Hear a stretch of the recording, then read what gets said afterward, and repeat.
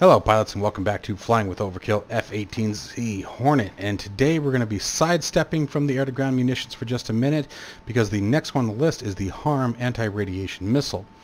The HARM anti-radiation missile is exactly what it sounds like. Its purpose is to go after uh, radiation uh, targets such as uh, search radars, targeting radars, um, things of that nature that are down on the ground okay?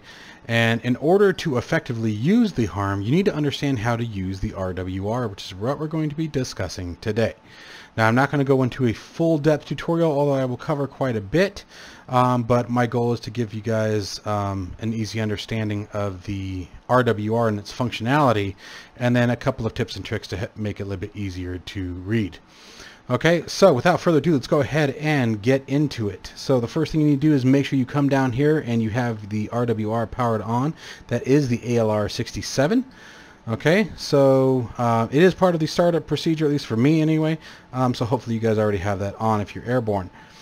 Next, this is the actual RWR screen. It never changes. It will always be all the information on the RWR that the RWR is detecting will be up here. And then you can also come here to the TAC page and bring up the EW page or early warning radar screen. All right. So a couple things that I want to get out right off the bat about the RWR. Number one, first and foremost, it does not tell you range. Okay, anything that you see on the RWR, um, a contact's reference into in comparison to the center of the aircraft has nothing to do with how far away from you it is. The RWR's purpose is to detect other radar uh, emitters, okay? So it can be an aircraft, as you see here. These are actually a group of friendly F-15s that have their radar turned on. If they were to turn their radar off, they would disappear. Okay, no ands, if, or buts about it. If their radar is turned off, they will never be on this screen. Okay, if we are using our radar to detect them, they'll be on the radar screen, but that's something completely different. So this is simply, um, in my F-15 tutorial series, I went over a three-part series of the radar, okay, and how radar works. And one of the things that I described it as is a flashlight. So the best way to think of the RWR is you're out in the middle of the night, you've got your neighbors that are down the street, and they have their flashlight on. Okay, you can see them walking around with a flashlight. You can see the flashlight, but it doesn't necessarily mean they're pointing it at you yet. Okay, and we'll go over uh, that later on. But keep that in mind. The radar is a flashlight. Okay, so we can see these F-15s have their flashlights turned on. Okay, next thing we want to talk about, since we're on the subject of it not being uh, relevant to range, let's talk about what these rings are. These are called threat rings. Okay. And how it works in the F-18 is the further away from your aircraft, so here's our aircraft, the further out the contact is, the less threatening it is. Okay, so this out here, the outer ring is called the non-lethal ring. Then you have your lethal ring and critical. The things you're going to see typically in critical are going to be like missiles. Um, I think it's actually pretty much the only thing that you'll see here um, is a missile indication. But We'll go over that a little bit later. Hopefully um, I set this up where it will demonstrate that appropriately. Um, this indication here, uh, the HUD but button is exactly what it sounds like. It repeats the RWR information on the HUD. Now, when you have a whole bunch of radar contacts on here, it can get pretty jumbled up and a lot of these can be hard to read. Now, something you can do is you come down here and press this offset button. You'll see norm offset on the RWR page. And you will see even down here, they've been split up and up here. now what this does is it breaks them apart and separates them so that way you can more effectively read them and get a better idea of what's out there.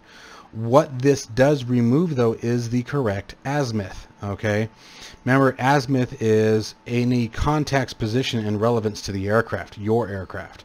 Okay, so if we unpause again and we turn the offset off, you can see that they're approaching our 12 o'clock position. That is accurate. Okay, if we were to look way out there, and unfortunately they're too far out that we can't even see them from here, but the F-15s are truly out here. They're really at our 12 o'clock. But when we go back and we hit that offset again, okay, this is no longer accurate. Okay, they may not actually be in that position. Okay, so it's important to remember that. So the next thing is is before you can effectively use the RWR, you have to know how to read it, and that's where it gets tricky. Okay, you can understand what the symbology, you can understand what the HAFUs are and things like that, but you may not understand how to identify what the emitters that you're being that are picking up are. So what I'm going to do, guys, is I'm going to we're going to back out of the sim for just a minute, and I'm going to show you guys a knee board that was made by one of our community members um, that we can install in the aircraft and bring up, and you can use this knee board on any of the aircraft. But I'm going to show you how to put it in place specifically for the F-18C, um, and then we'll take a look at um, how to use it. So stand by for a second, and we'll jump right on that. Alright guys, so now we are out of the sim and we've gone to DCS's website. Okay, and the link for this RWR uh, Quick Look knee board will be down in the description below. Again, give Bailey a big shout out out on the forums or in the comments below here. Um, it's absolutely uh, awesome, very nicely worked, nicely done work. So what you're going to be looking at here is this under ID is what you're going to see on the RWR. So the HN, HN, DT, 6, 8, that's what's actually going to pop up on the RWR. And what this is telling us is what it means. For example, 13 is a Strela, 15 is a Tor. Okay, now you're probably wondering, well, the 15 we saw the F-15. You're going to have aerial contacts and ground contacts, and some of them may have this, the same uh, identifier, but they'll have different um, uh, icons and, and, symbology around them that will let you know uh, ground target versus air target. Okay, and we'll go into that here in just a minute. So anyway, so now that we have that, what we're going to do is go ahead and close this guy. I've already downloaded. You just press the download button here. So we're going to go ahead and go to our downloads folder. And if you have 7-zip or anything like that, you can just open up the archive. Okay. And what we're going to do is copy just the images out. They actually might be the same image. Let me see these real quick.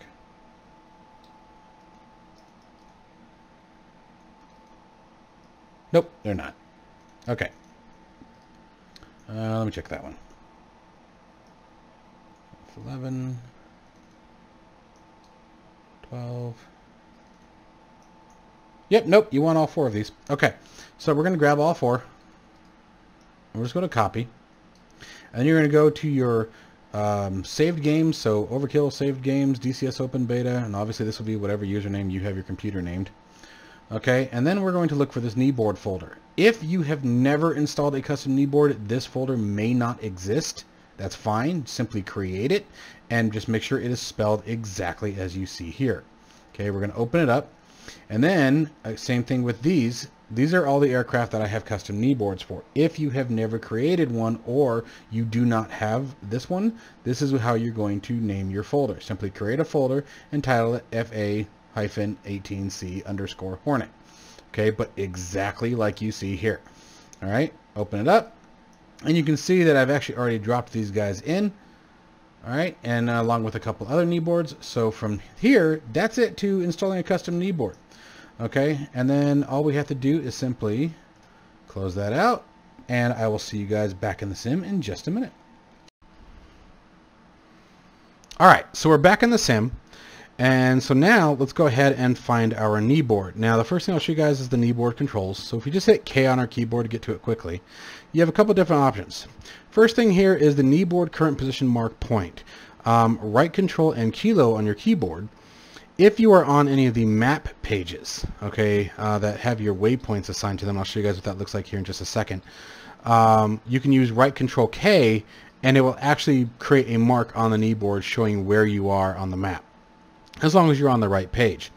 Then you have K here. Kilo by itself uh, will bring up the knee board for as long as you hold the key down. If you let the key go, the knee board will turn off. Right shift K uh, will set the knee board as an on and off. So tap right shift K, the knee board will come on, tap it again, you'll turn it off. And then the open and close brackets that are just down to the left of the backspace button for American keyboards at least um, will allow you to cycle through the different pages. So let's take a peek. So we're going to get back in the sim here. We're going to do our right shift in kilo here. And the first thing I'm going to do is show you guys the right control K. And we are on the wrong page. So I pressed it and you can see nothing's here. So if we expand out a bit, there. You can see this purple triangle, this caret that was made, that's our aircraft position and, position in relevance to waypoint 1. Okay, but we want to keep on going. Let me make sure active pause is on. There we go. And let's start cycling through the pages. Now we're going to go past the maps to get to our custom pages. So past the maps, past the maps, there we go. So now we've started the custom pages, and however you see them in the folder, that's how you're going to see them in the aircraft. So we're going to get past all the munitions stuff here. Alright, and here's where it begins. So here, as I showed you guys briefly um, when we were looking on the website, this is the ID. So this is what we're going to see on the RWR, okay, is anything under the ID. And then this section is what you're actually looking at. All right, so let's do something real quick that I know isn't necessarily covered on this. So I'm going to turn this off for a minute. And what we're going to do is bring up, let's bring up an EWR that's off all by itself. Okay, so if you look, we zoom in on it, you can see it sort of looks like a radar dish. All right, so let's go ahead and bring up our knee board. And this particular icon is not on here. Okay, so it's important to understand that not everything is there, but in all true essence, that particular contact isn't lethal. Okay, it's just a, a, radar. That's all it is. It's got no weapon system attached to it. It's not part of a, a weapon signature. Okay. But if we were to bring up the, let's say we bring up an SA-10 system. Okay. So now if we hit pause, oops. There we go.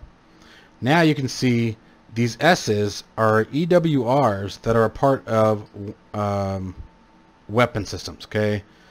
So keep that in mind that this, these are both search radars, but this one is the search radar of a weapon system, okay?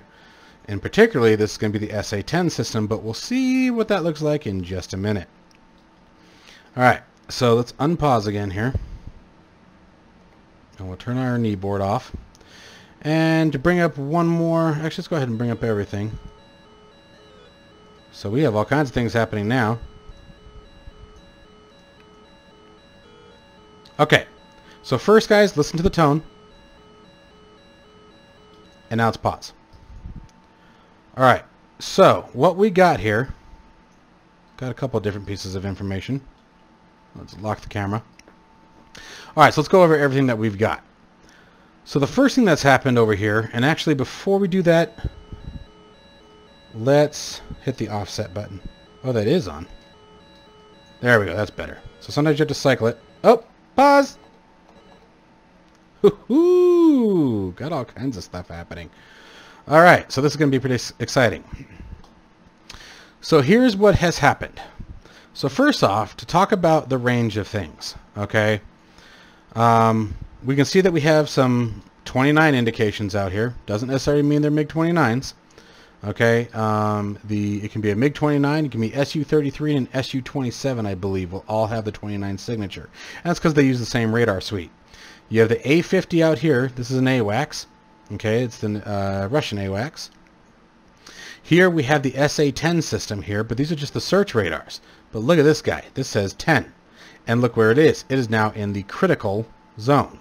Okay, so let's look at where everything is in reference to the actual aircraft. So here's our EWR. Okay, so that's this guy right here. And then here's the SA-10 site. Okay, so if we click this guy here, that's our targeting radar. And then click this guy, or this guy, these are search radars. Okay, you have a uh, 5 November 66 Mike search radar, and you can tell that by the SR here. And then we have a 6-4 Hotel 6 Echo. Okay, another search radar. Okay, and all they are is different ranges, uh, is my, my understanding. But if we go back to the cockpit, keep in mind they're all basically in line. But the SA-10 system, okay, the targeting radar, right here, is this. And this is why I was telling, trying to tell you guys it has nothing to do with range. Okay, it has to do with threat. And what this means is it's fired on us, is essentially what has happened. When the targeting radar takes over, you'll get the identifier of the 10, which if we go back to our knee board, and don't worry if we get hit, I have the aircraft set to invincible, so 10, here it is, S300PS targeting radar. Okay, so we saw the 10 here on the screen. It's flashing right now, so it went away. But we saw the 10, and now we get to identify what it is. It's a targeting radar. And it just so happens it's a targeting radar for the SA-10. Alright, now the other thing that I want to show you guys, if we unpause our camera, bring up all of our lights here, see what's going on, and I'm going to pause again. Oops, damn it, I didn't want to do that. I'm on a roll here. There we go. Pause the camera, not the game. Okay. So let's take a look at these annunciators here of what's going on. When the search radar that was up here, the one with the S, okay, and how, by the way, let me back up just a hair real quick. You saw that these contacts had a house over them, okay? Any contact that has a house over it is a ground target. Any contact that has a caret above it like this is an air intercept, so a fighter. And any target that has the HAFU above it like this is a friendly aircraft. And anything that doesn't have anything is considered non-lethal, and so it doesn't identify.